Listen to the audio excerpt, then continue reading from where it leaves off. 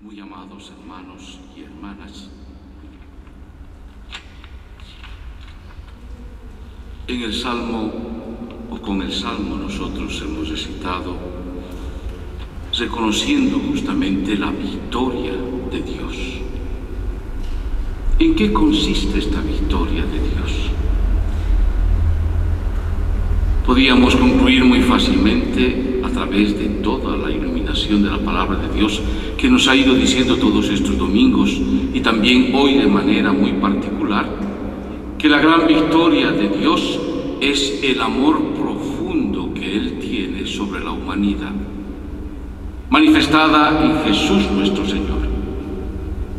En este mundo donde puede reinar el mal, la enfermedad, la destrucción, la crisis, los miedos, los temores, las frustraciones, las soledades.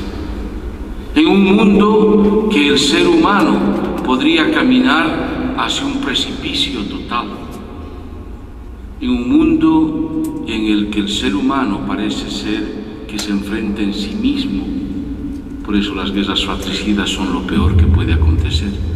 O en un mundo que solo se vive en un egoísmo total o en un relativismo muy fuerte en un mundo que le ofrece al ser humano, aunque aparentemente grandes, grandes proyectos, grandes victorias, grandes perspectivas, en definitiva su naturaleza de ser humano le lleva a la tumba, a la muerte, a la destrucción. La victoria, en cambio, de Dios es que por amor él nos ha rescatado.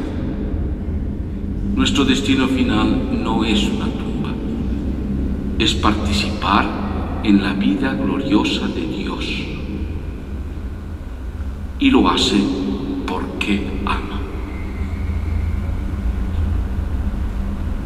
Yo espero, hermanos, que nosotros hayamos podido experimentar, no solo a través de la palabra, que han visto cómo progresivamente nos ha ido introduciendo en este amor profundo a Dios que yo espero que todo, todo este tiempo ustedes hayan recibido la palabra de Dios que dice yo te amo a ti profundamente, que te habla al corazón y te habla de amor, te habla de vida y vida en plenitud.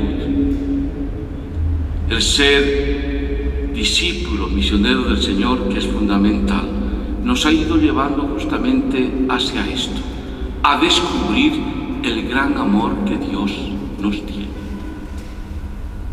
En tu debilidad, en tu flaqueza, en lo que nosotros podemos tener todos estos grandes límites. La victoria de nuestro Dios es real y es verdadera. Y hoy se manifiesta de manera más profunda todavía que el anterior domingo. Recuerda del anterior domingo. Es fundamental permanecer, permanecer en la vid para dar buenos frutos. El sarmiento no tiene sentido, no da frutos si no permanece en la vid. El fruto, por tanto, que podamos dar como sarmientos definitivamente es lo que hoy no se nos revela, dice, ámense los unos a los otros. Aquello que es posible para Dios, aquello que ha conquistado en este mundo Jesucristo nuestro Señor a precio de sangre, es posible también que se viva entre nosotros. Hemos escuchado la primera lectura. Aquellos que venían del paganismo han recibido el Espíritu. Quiere decir que el amor de Dios se extiende no solo a los judíos, se extiende también a todo ser humano, a toda nación, a todo pueblo, a toda raza. Es un lenguaje comprensible absolutamente para todos, también para nosotros. El amor ha sido derramado también en estos a través del Espíritu. ¿Cómo no poder dar el bautizo del Señor?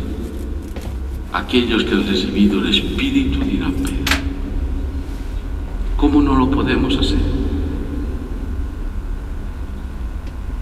Y si estos han recibido el Espíritu, tienen la capacidad entonces de saberse conocedores del amor de Dios, receptores del amor de Dios y capacitados para también expandir el amor de Dios hacia los demás.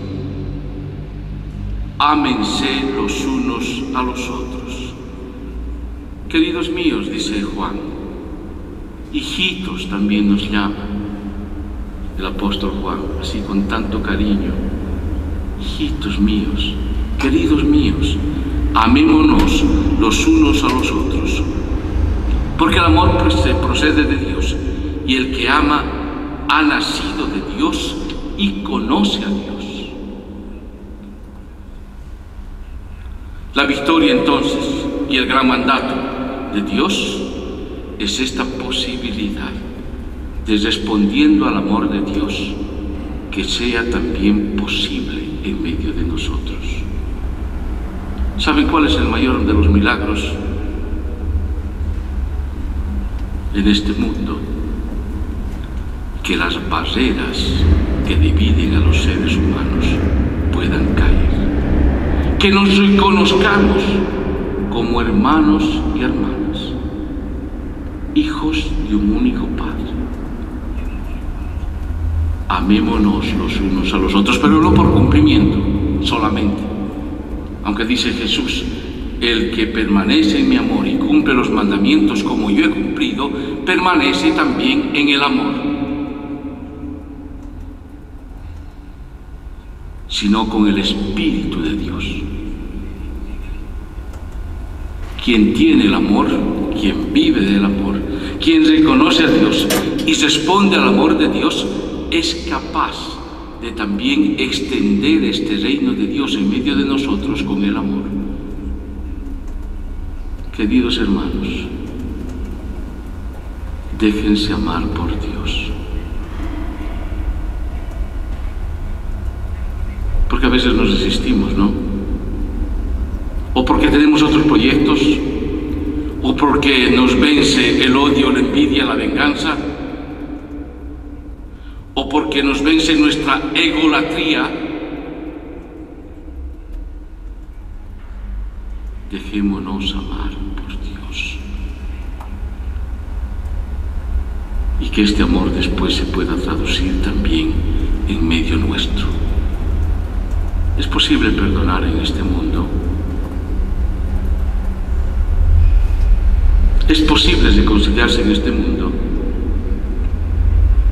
Es posible, como por ejemplo un padre de familia amar a sus hijos y a su esposa profundamente.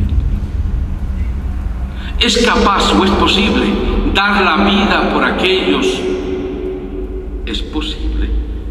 Yo conozco mucha gente en este mundo, en medio nuestro, que da la vida por los suyos. Pero conozco también gente que es capaz de dar la vida por aquellos que no son suyos.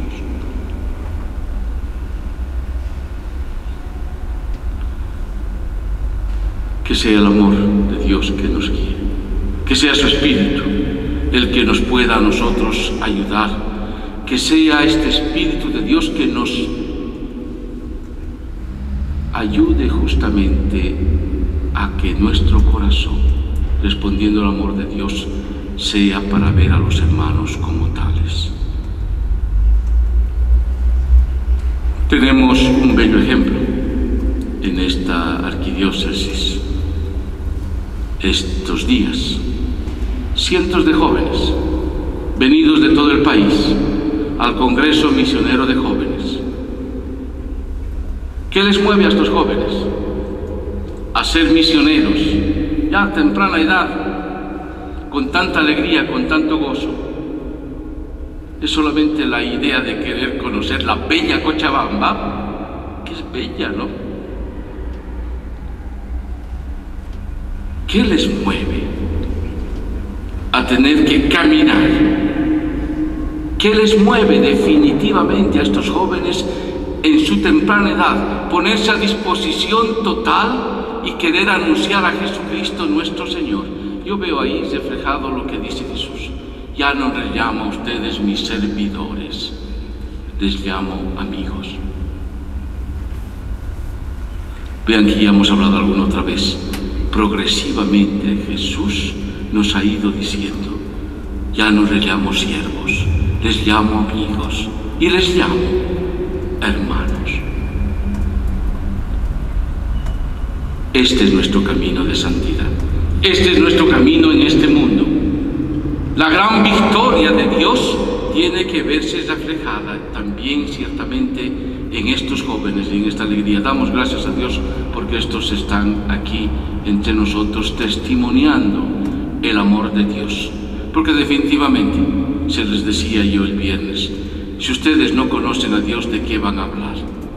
Si ustedes no son discípulos, ¿a quién van a presentar? Y si lo son, y son apóstoles, por tanto enviados a anunciar y misioneros a anunciar este amor, que de verdad sea aquello que les llena de gozo, de alegría, de paz, de consuelo, les ilumina la vida. Y que sobre todo y ante todo seamos capaces de vivir en comunidad del Espíritu de Dios, del amor de Dios y transmitirlo